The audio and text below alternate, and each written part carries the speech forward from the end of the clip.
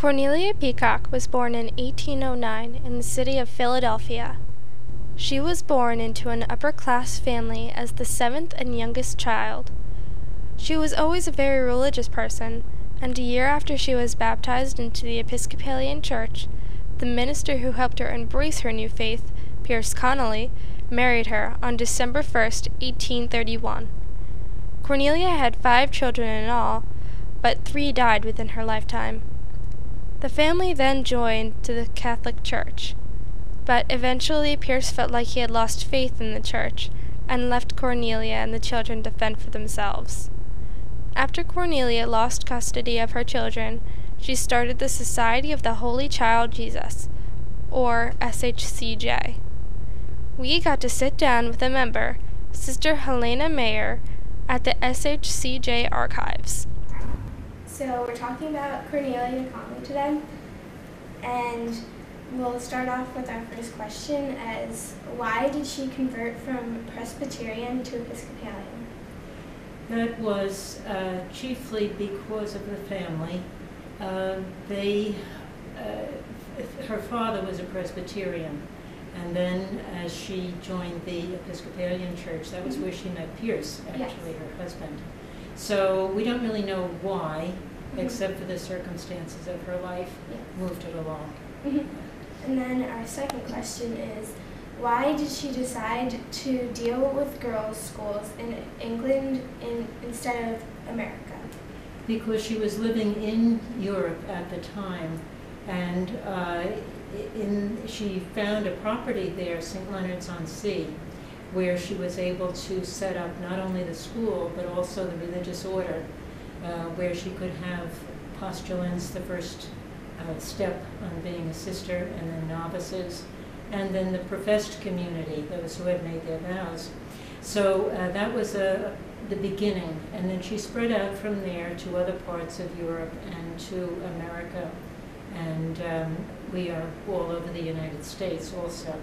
Um, and she would be happy to know that we have um, missions in South America, Mhm. the Dominican Republic, and um, uh, also in Chile, and we have sisters from those countries too. Yes.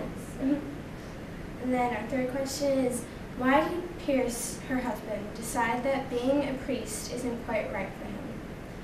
Uh, Pierce is a very complicated person, and uh, although he seemed to think that being a priest was what God wanted him to do, as he went along, he seemed to let his ambition uh, take over, that he wanted to be more important than he was being at the time.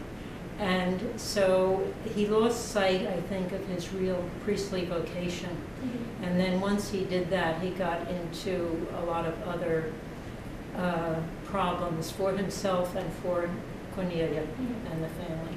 Good. And how did Cornelia affect our school's curriculum? Well, the uh, book of studies here was written by Cornelia. This is a copy uh, printed in 1865, and it outlines the uh, course of study, what should be covered in each of the subjects, and also uh, the materials that would be needed for each subject, and um, how they should be taught, that the students should be involved in the learning process. And um, she incorporated even things like drama, and um, they, uh, and dancing, singing, uh, so it wasn't just arithmetic and, and English. Um, so the students were uh, well kept and they learned quite a lot from them. Yes, they did, uh, because she had a very broad view of education herself, and so she was able to communicate that to her students. Um, were her children were they quite as successful as she was? Her youngest son, Frank, was a very successful artist, and we have uh, his sculpture over there. His sister Adeline posed for him uh, as um, he was doing various sculptures, and this is our most famous piece, which you can see later on. Um, Their two youngest children died um, as babies. Little Mary Magdalene was only a few months old when she died. John Henry um, had a terrible accident and was burned to death. And uh, Mercer, who was her oldest son, uh, poor Mercer was sent off to boarding school by his father. It was not her decision. And um, he was never, never really at home. Um, he went off to America, and um, in the 1850s, the early 1850s, there was a yellow fever epidemic in the South, and that's where he was. And he died of yellow fever there. So um, nobody really knows where he is buried. So that, that's very sad for them.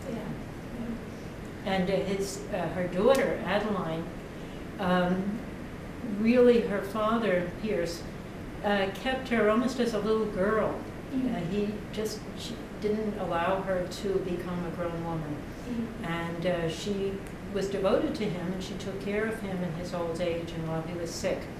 But um, she really did not, um, didn't, wasn't allowed to grow up, you might Mhm. say. And that was a great source of pain to Cornelia. Why did Cornelia decide to stay as a sister? Well, she believed that she had a true vocation, that God was calling her. It was not her idea originally.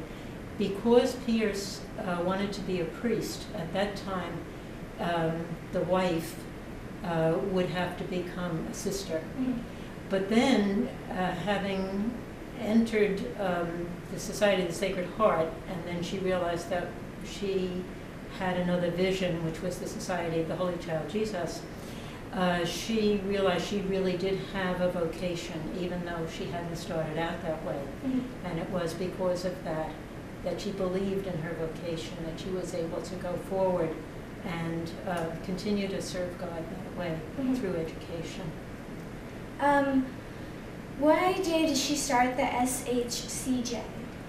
Uh, she believed in education, and uh, she was really asked by the Pope to um, to educate girls in England, especially. So it was uh, there that she began uh, her schools, this St. Leonard's on Sea, and um, so it, it was the Pope's idea that she should do this, and then she um, had all the talents uh, to set that up, the organizational skills and the the education herself.